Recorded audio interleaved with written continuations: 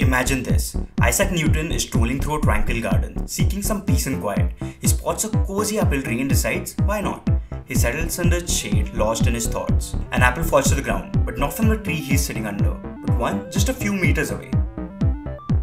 So instead of sparking one of the most revolutionary ideas in human history, Newton just eats it. Now, let's hit the brakes for a second. What if that moment of inspiration, the one that led to the discovery of gravity, never happened? What would the world look like? For starters, we'd never reach space. Say goodbye to moon landings, Mars rovers, and telescopes peering into the mysteries of the universe. Oh, and satellites? No satellites, no internet, which means you wouldn't even be able to watch this video right now. And texting your friends, calling your family? Forget it. Communication would be stuck in the 1800s. You'd be sending letters by horseback or pigeon. Romantic? Maybe. Efficient? Not so much. Air travel? Yeah, no. Get ready for month long voyages to cross oceans because gravity's understanding is the foundation of modern aviation. And let's not even start on the domino effect this would have on other fields engineering, medicine, and even the way we grow our food. And it all comes back to one man under one tree. If Newton hadn't connected the dots that day, would someone else have? Probably. But here's the kicker this word probably is doing a lot of heavy lifting. This uncertainty is at the heart of chaos theory and butterfly effect. It's the idea that even tiny, seemingly insignificant changes in initial conditions, like Newton choosing the wrong tree, can completely alter the course of history. Let's fast forward a few centuries to the 1960s, where another pivotal movement changed science forever, this time in the field of meteorology. Edward Lorenz, a mathematician and meteorologist who unknowingly laid the foundation of chaos theory, was running weather simulations on an early computer. During this, Lorenz discovered something extraordinary. He used to run simulations on weather using data with 12 variables and 12 equations, things like wind speed, temperature, humidity, pressure, and all. The breakthrough happened when he wanted to redo a run. To use a shortcut, he made a tiny change in one of the initial conditions. He entered 0.506 instead of 0.506127. He put the simulation to run, went to get a cup of coffee. When he came back, he came back to something extremely unexpected. He got dramatically different results in his predictions. Basically, a complete different prediction of weather just because of a tiny change. Lorenz, for his simulations of weather, used a simple model based on these sets of equations to describe the movement of air. These equations might look intimidating, so let's break down so they are easy to understand. The variables x, y, and z represent variables like air velocity, temperature, pressure, things that change over time.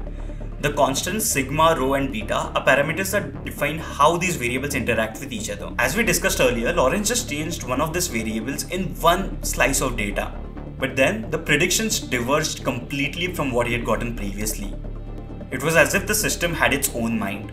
This sensitivity to initial conditions is the hallmark of chaos theory. It's called the butterfly effect based on a poetic idea that a butterfly flapping its wings in Brazil might, weeks later, cause a tornado in Texas, which was literally the title of Lorenz's groundbreaking paper about this topic. Lorenz's findings reshaped science. His famous Lorenz attractor, a swirling three dimensional figure, became a symbol of chaos theory, and the shape of this figure, well, resembles the wings of a butterfly. This shape shows how a system evolves over time, even though it is deterministic, which means it follows a fixed set of rules. It's impossible to know where the system is going to end up in the future. The many parts of this swirling pattern that you see are all caused by tiny changes in the start, so these curves represent all of the different possibilities. So, what does this mean for us? It explains why weather forecasts can't go beyond a week with accuracy. Even if you measure today's conditions down to the millimeter, tiny errors in measurements get amplified, making long term predictions impossible. But chaos isn't just about the weather, it's why stock markets can be so volatile, why ecosystems can shift suddenly, and even why heart rhythms or brain waves might become irregular. Chaos is all around us, shaping systems as complex as economics, biology, and even human behavior. In essence, chaos theory shows us a surprising truth about our universe. It is ruled by laws, but those laws can lead to outcomes that seem extremely random. It's a dance of predictability and unpredictability. I studied a course on nonlinear dynamics and chaos in the third year of my university, and to be honest, it was by far my favorite course. If you want to study this topic in more detail and more mathematically, I would suggest you to check out this book called Nonlinear Dynamics and Chaos written by Strogatz. Although you'll need to have a grasp over multivariable calculus, differential equations and a little bit of linear algebra to be able to complete this book. But if you're just interested in getting an introduction, you can just check out the first few chapters of this book. So, the next time you hear about the butterfly effect or chaos theory, remember that it's not just randomness. It's about the profound, intricate beauty of a universe where even the tiniest actions can create endless possibilities. This is a big idea in all of our lives. We often imagine, what if I'd chosen to do this instead of that? What if I'd just bought 10 bitcoins in 2010? What if my parents had never met? So, all in all, life is unpredictable and well, short.